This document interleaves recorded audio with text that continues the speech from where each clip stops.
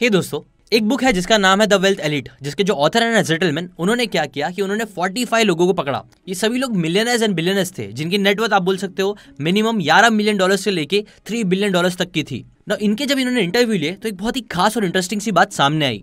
उन्होंने नोटिस किया कि इन सारे सुपर रिच लोगों में से, हर तीन में से दो लोगों ने इस बात को कबूल किया, उन्होंने एक्सेप्ट किया कि उनकी फाइनेंशियल सक्सेस का जो मेजर रीजन है ना, वो बस एक स्किल की वजह से है। कौन सी है वो एक स्किल वेल वो स्किल थी, उनकी सेलिंग एबिलिटी सेल्स की स्किल और सच बोले तो ये बात इतनी ज़्यादा शॉकिंग भी नहीं है। आपने भी चीज़ नोटिस करी होगी कि जो self made millionaires and billionaires है और सेल्स है, इन दोनों का जो रिलेशनशिप है, वो काफ़ी कॉमन है। आपने ऐसे कई सारे फ़ेमस सीईओ को देखा होगा, जो लोग पहले सेल्स की जॉब करते थे, जैसे कि ओरेकल के Larry Ellison Netflix CEO Reed Hasting Shark Tank के Mark Cuban Richard Branson Mary Kay Ash जो कि एक बहुत ही सक्सेसफुल वुमेन थी बिलियनर वुमेन थी। In fact even Warren Buffett ने भी स्टार्टिंग के डेज़ में सेल्स करी है। अगर आप स्टीव जॉब्स की भी बायोग्राफी पढ़ोगे ना मैंने सुनी है उसकी बायोग्राफी जो बहुत कमाल की है मैं आपको रिकमेंड करूँगा तो उस बायोग्राफी में भी मैंने एक चीज़ कॉमन देखी थी ना कि जो स्टीव जॉब्स थे ना उनकी हमेशा से जो सेलिंग की स्किल थी मार्केटिंग की स्किल थी ना वो बहुत फाड़ थी आप इस वीडियो से भी देख सकते हो चीज़?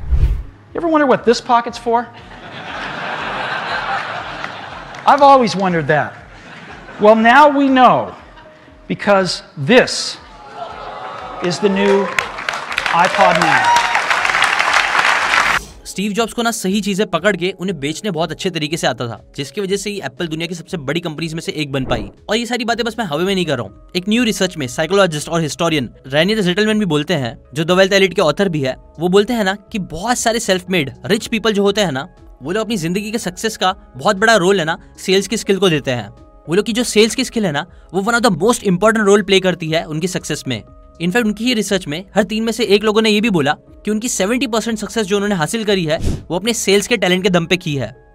और वेल ऐसा क्यों है? वेल जेटलमैन की रिसर्च में ना तीन बड़ी बातें सामने आई है, जिसके वजह से आप बोल सकते हो सेल्स बहुत इंपॉर्टेंट है, जिसके वजह से कई बार जो सेल्समैन होते हैं ना, वो लोग बहुत सक्सेसफुल सीईओ बन पाते हैं और बड़े बड़े काम कर पाते हैं। बिकॉज़ जब आप सेल्स का जॉब करते हो ना, तब आपको एक्जैक्टली समझ में आता है कि बिज़नेस ऑपरेट कैसे करते हैं। मोस्ट क्रिटिकल जंक्शन आपके बिज़नेस में कहाँ कहाँ है? कस्टमर का एक्सपीरियंस कैसा है? उस प्रोडक्ट का यूज़ करने में। कस्टमर क्या कंप्लेंट्स दे रहे हैं, क्या प्रॉब्लम्स फेस करनी पड़ती है। इन शॉर्ट आप बोल सकते हो, जब आप सेल्स में काम करते हो तो आप बिज़नेस को ना अंदर से अच्छे से समझने लग जाते हो, जो कई बार बहुत ज़रूरी होता है, अगर आपको भी खुद का बिज़नेस करना है तो। और सेल्स का जो भी अपॉर्चुनिटी देता है कि आप बिज़नेस को अच्छे से समझ पाओ। प्लस एक मिलियनर ने ये बात भी बोली थी, जो बहुत सही है, कि आप कितना भी अच्छा प्रोडक्ट बना लो, कितनी भी बड़ी टीम खड़ी कर दो, कितनी भी फंडिंग उठा लो, सब कुछ कर लो। एट द एंड जब तक आपके सेल्स नहीं होंगे ना, तब तक आपका बिज़नेस हिट नहीं हो पाएगा, आप कुछ भी बड़ा कर नहीं पाओगे। और आपको ताल लगा के घर जाना पड़ेगा। सेल्स सबसे इंपॉर्टेंट होता है। जिसके बारे में ऑब्वियसली आप डीप में सीख लोगे, अगर आप सेल्स की जॉब करोगे तो। देखो सेकंड रीजन ये है कि जब भी कोई सेल्स में काम करता है ना तो वो इन्फ्लुएंशियल और एक पर्सुएसिव इंसान बन जाता है। और सच बात तो ये है ना कि ज़िंदगी में कुछ भी आपको हासिल करना है तो आपको एक इन्फ्लुएंशियल इंसान बनना बहुत ज़रूरी है। सिर्फ़ कस्टमर को प्रोडक्ट बेचने के लिए ही नहीं अगर एक कंपनी का सीईओ है फॉर एग्ज़ाम्पल अगर उसे इन्वेस्टर से फंडिंग उठाने है तो अगेन उसे इन्फ्लुएंशियल होना पड़ेगा, उसे परसुएड करना पड़ेगा इन्वेस्टर को, ताकि वो लोग उसे पैसे दे। एक अच्छे सीईओ को अपने एम्प्लॉयज़ को परसुएड करना पड़ेगा, ताकि वो लोग अच्छे से काम कर सके। अपने बिज़नेस पार्टनर को इन्फ्लुएंस करना पड़ेगा। ऐसे ही बहुत सारे लोगों को इन्फ्लुएंस करना पड़ेगा, तभी उसकी जो सक्सेस की प्रोबेबिलिटी है, वो बढ़ पाएगी।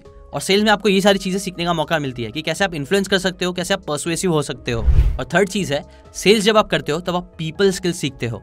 और जैसे कि आपको पता ही होगा, हम सब लोग क्या है सोशल क्रिएचर्स है। हम लोग कितना भी बोल रहे कि हमें अकेले रहना पसंद है, ये सारी चीज़ें। बट सच तो यह ना कि जब तक हम दूसरों से बात नहीं करते हैं कम्युनिकेट नहीं करते हैं, तब तक हम अच्छे रिलेशनशिप फॉर्म नहीं कर सकते हैं, अच्छी फ्रेंडशिप फॉर्म नहीं कर सकते हैं अच्छा बिज़नेस खड़ा नहीं कर सकते हैं। जबकि अगर आप सेल्स में काम करते हो तो आप अलग अलग लोगों से मिलने का मौका मिलता है उनसे बात करने का मौका मिलता है उनके एक्सपीरियंस सीखने का भी मौका मिलता है और, और बहुत कुछ सीखने का मौका मिलता है जिसकी वजह से आपकी जो पीपल स्किल है ना कम्युनिकेशन की वो बहुत फाड़ हो जाती है जो एट द एंड आपको लाइफ के हर एस्पेक्ट में बहुत ज़्यादा हेल्प करती है।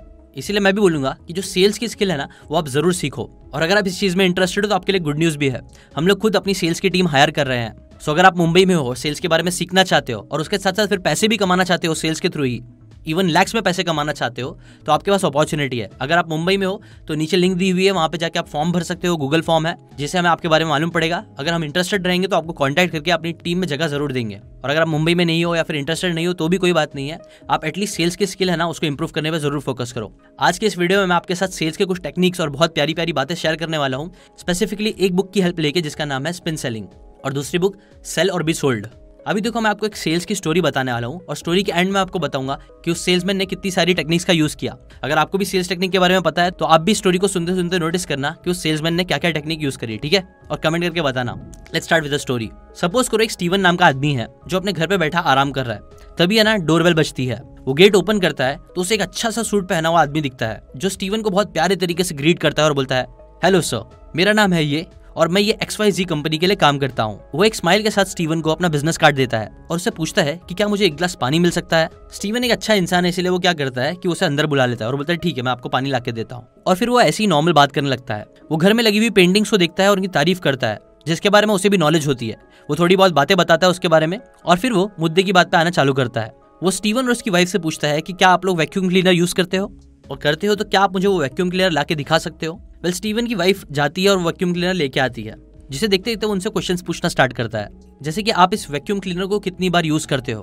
और कितना ज़्यादा ज़रूरी है आपको ये वैक्यूम क्लीनर यूज़ करना? जिसके बाद स्टीवन की वाइफ उन्हें बताती है कि हम लोग नॉर्मली हर दिन इस वैक्यूम क्लीनर को यूज़ करते हैं और हमारे लिए क्लीनलीनेस रखना ज़रूरी है क्योंकि हमारा छोटा सा बच्चा है तो कई बार वो ज़मीन पे खेलता रहता है, इसके जैसे हम लोग हमेशा सफ़ाई मेंटेन करने की कोशिश करते हैं। इसके बाद वो जो सेल्समैन होता है ना उनसे पूछता है कि अच्छा आप जो वैक्यूम क्लीनर यूज़ कर रहे हो, उसके अंदर मेजर आपको क्या क्या प्रॉब्लम फेस करनी पड़ रही है? जिसके बाद स्टीवन की वाइफ उसे बताना चालू करती है, जो सबसे पहली चीज़ मुझे इरिटेटिंग लगती है वैक्यूम क्लीनर की, वो बोलती है कि ये ना आवाज़ बहुत करता है। प्लस जब मैं उसे कोने में साफ़ करने के लिए यूज़ करती हूँ ना तो उसे अच्छे से साफ़ नहीं कर पाता है। सीलिंग तक भी इसका जो हैंडल है ना, वो पहुँच नहीं पाता है। ऐसी वो उसे कुछ प्रॉब्लम्स बताना स्टार्ट करती है। इसी बीच में जो सेल्समैन होता है ना उन्हें ये भी बताता है कि जो वैक्यूम क्लीनर आपका इतना आवाज़ करता है ना, वो एक्चुअल में ना थोड़ी ओल्ड टेक्नोलॉजी यूज़ कर रहा है, जिसकी वजह से ना वो इलेक्ट्रिसिटी भी बहुत ज़्यादा खाता है।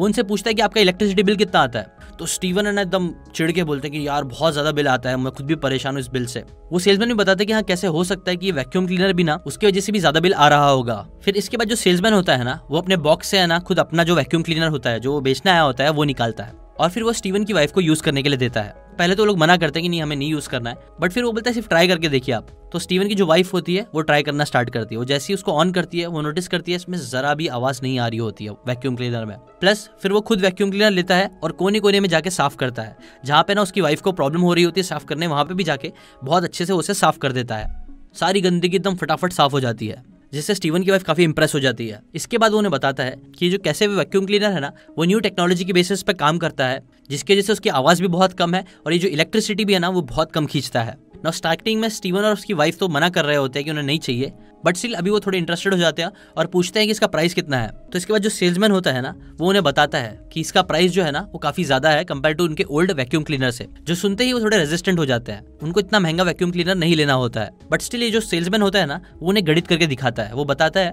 जो अभी आप नॉर्मल वैक्यूम क्लीनर यूज़ कर रहे हो, उससे आपका साल भर में कितना ज़्यादा लॉस हो रहा है, क्योंकि वो इलेक्ट्रिसिटी इतनी ज़्यादा खाता है। बट वही कंपेरिजन में अगर आप ये यूज़ करते हो तो इससे क्लीनिंग भी बेटर होगी, जो उनके घर की साफ़ सफ़ाई मेंटेन करने के लिए भी इंपॉर्टेंट होगा। नाउ स्टीवन और उसकी वाइफ को ना वैक्यूम क्लीनर का पैसा काफ़ी ज़्यादा लग रहा होता है, इसलिए उन्हें मना करने लगता है। नाउ सेल्समैन जिसके ऊपर क्या करता है पता है? वो उन्हें एक बात समझाने लगता है कि देखो, अभी राइट नो जो आप वैक्यूम क्लीनर यूज़ कर रहे हो, वो अगर आप साल भर यूज़ करोगे ना, ऐसे ही लगातार यूज़ करते रहोगे तो उसकी वजह से आपका इतना इतना इतना और खर्चा हो रहा है। आप ज़्यादा स्पेंड कर रहे हो। प्लस आपका जो घर है, वो भी कंपैरेटिवली काफ़ी कम अच्छे तरीके से साफ़ हो पा रहा है, जिसकी वजह से फिर आपके घर में बीमारियाँ बढ़ने के भी चांसेस है, बच्चों के बीमार होने के भी चांसेस ज़्यादा है। और ओवरऑल अगर आप पहले ही अच्छा पैसा इन्वेस्ट करके एक अच्छा वैक्यूम क्लीनर ले लेते हो तो इससे साल भर में आपका इलेक्ट्रिसिटी का पैसा आधे से भी कम हो जाएगा। जितना वो पुराना वैक्यूम क्लीनर रहता, उससे काफ़ी कम इलेक्ट्रिसिटी जाएगी, आधे से भी कम। प्लस इससे साफ़ सफ़ाई भी अच्छी होगी। जो अगर नहीं होगी तो वो आपके बच्चों को बीमार भी कर सकता है, घर को गंदा भी रख सकता है और काफ़ी प्रॉब्लम हो सकती है। ऐसी वो उन्हें बताने लग गया कि क्या क्या प्रॉब्लम हो सकती है, अगर वो लोग ये वैक्यूम क्लीनर नहीं लेते हैं तो। ना इतना सब करने के बाद भी ये लोग स्टीवन और उसकी वाइफ मना कर रहे होते हैं। तभी वो बताता है कि देखो, आपके जो तीन पड़ोसी है ना, उन्होंने भी इस वैक्यूम क्लीनर को खरीदा है और उसे यूज़ कर रहे हैं। तो आप भी इसे एटलीस्ट यूज़ करके देखो। मैं भी आपसे पैसे नहीं लेना चाहता हूँ। आप अभी फ्री में इसको रखो, एक दो दिन यूज़ करो और दो दिन बाद मैं आपके पास आऊँगा। अगर आपको ये चीज़ नहीं पसंद आती है तो आप रिटर्न कर देना और अगर पसंद आई तो रख लेना। वो ऐसी डील देता है कि फिर स्टीवन और उसकी वाइफ मना ही नहीं कर पाता है। और जाते जाते ना वो जो सेल्समैन होता है ना, वो ये भी बोलता है कि आप ज़रूर इसके बारे में सोचना भी कि अगर आप ये वैक्यूम क्लीनर ले लेते हो तो इससे आपको क्या क्या फ़ायदे हो सकते हैं। ऐसा बोल के उन्हें गुड बाय करके वहाँ से चला जाता है। और दो दिन बाद जब सेल्समैन वापस से घर पे आता है, तब वो उनसे पूछता है कि क्या आपको वैक्यूम क्लीनर यूज़ करने मज़ा आया? वो उन्हें ये भी बताता है कि उसके पास जितना भी स्टॉक था ना इस वैक्यूम क्लीनर का, वो पूरा खत्म हो चुका है और ये लास्ट पीस ही बचा हुआ है जो आदमी लोगों के पास है।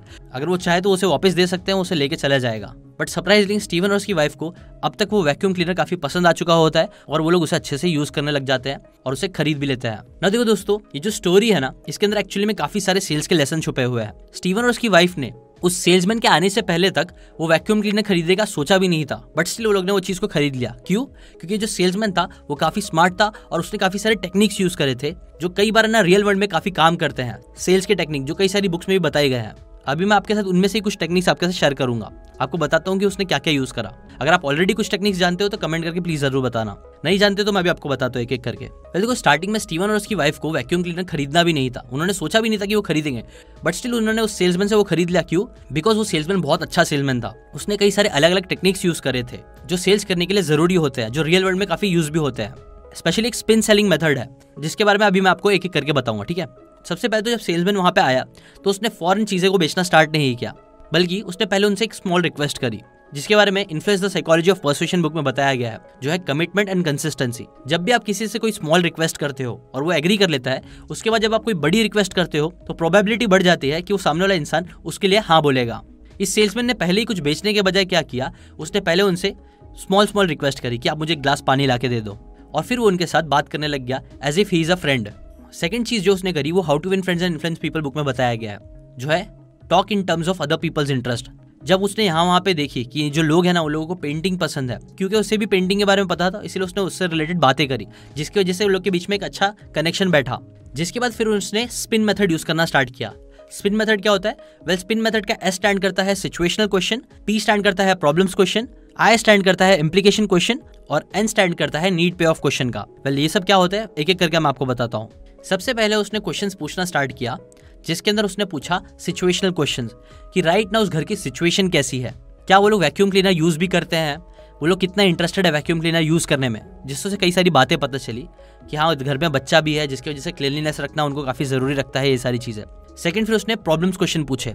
उसने ये पता करना चालू किया कि एग्जैक्टली वो जो लोग हैं, उन्हें क्या प्रॉब्लम्स फेस करनी पड़ रही है उनके करंट वैक्यूम क्लीनर से, जिससे कई सारी बातें पता चली। जैसे कि वो वैक्यूम क्लीनर ज़्यादा आवाज़ करता है इलेक्ट्रिसिटी का बिल भी उसके जैसे ज़्यादा आ रहा है, वो प्रॉपरली सफ़ाई भी नहीं करता है। जब उसे ये सारी चीज़ें पता चल गई सिचुएशन और प्रॉब्लम पता चल गई, फिर उसने इम्प्लीकेशन क्वेश्चन पूछना स्टार्ट किया इम्प्लीकेशन क्वेश्चन में बेसिकली क्या किया जाता है कि जो भी प्रॉब्लम्स है ना, उसे थोड़ा एम्पलीफाई किया जाता है। इसके अंदर क्वेश्चन पूछ के ही लोगों को बताया जाता है प्रोस्पेक्ट को बताया जाता है कि कैसे अगर वो इसी करंट स्टाइल में जीते जाएँगे तो उनका कितना ज़्यादा बिल आ सकता है इलेक्ट्रिसिटी का, कितनी ज़्यादा सफ़ाई की वजह से प्रॉब्लम हो सकती है, बच्चे बीमार पड़ सकते हैं। ऐसी चीज़ों को एम्पलीफाई करके ऐसा इंपॉर्टेंट बताया जाता है कि लोग उसके बारे में फ़िक्र करने लग जाए प्रोस्पेक्ट और फिर लास्ट आता है नीड पे ऑफ़ क्वेश्चन यहाँ पे बेसिकली क्या करना है कि आपको दिखाना है कि जब वो जो प्रोस्पेक्ट है, वो पुराने तरीके के बजाय जब आपका प्रोडक्ट या सर्विस यूज़ करेगा तो उससे उसे क्या क्या फ़ायदा मिल सकता है क्या क्या पॉजिटिव चीज़ें हो सकती है। इम्प्लीकेशन क्वेश्चन यूजली नेगेटिव पे फोकस करता है, लेकिन फिर need payoff question positive पे फोकस करके उस प्रॉब्लम का सोल्यूशन दिखाता है, जो यूजली होता है आपका प्रोडक्ट या सर्विस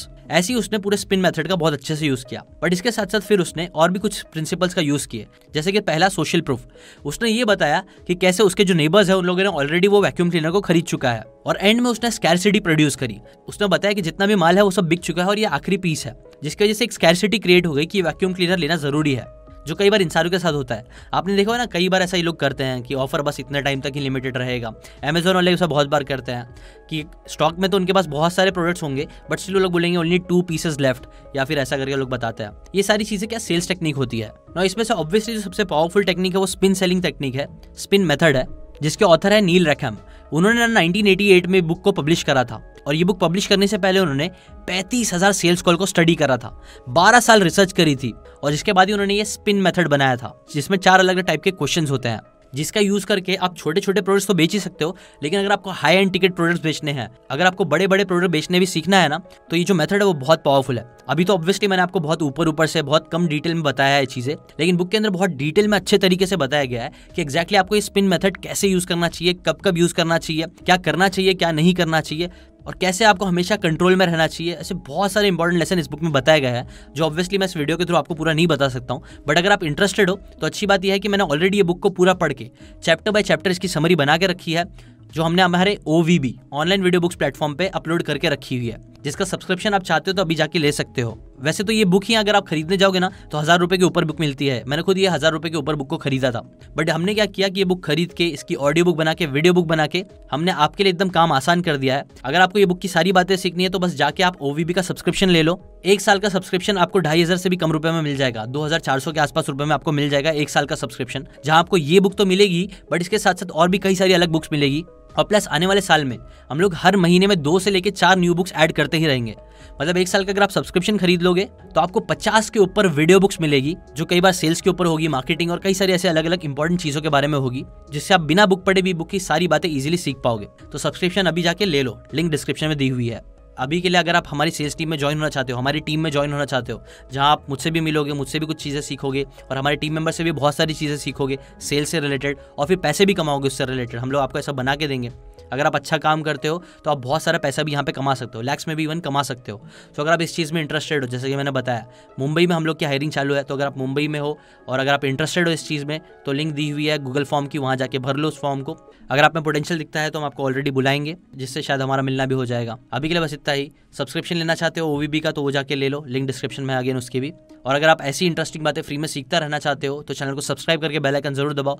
मैं हर संडे आपके लिए बुक की समरीज लेके आता रहूँगा। इंटरेस्टिंग इंटरेस्टिंग बातें फ्री में आपके लिए लेके आता रहूँगा। थैंक यू सो मच आप हमेशा वीडियोज़ को लाइक करते हो कमेंट करते हो शेयर करते हो व्हाट्सएप पे। उन सारी चीज़ों के लिए थैंक यू सो मच अभी के लिए बस इतना ही। Thanks for watching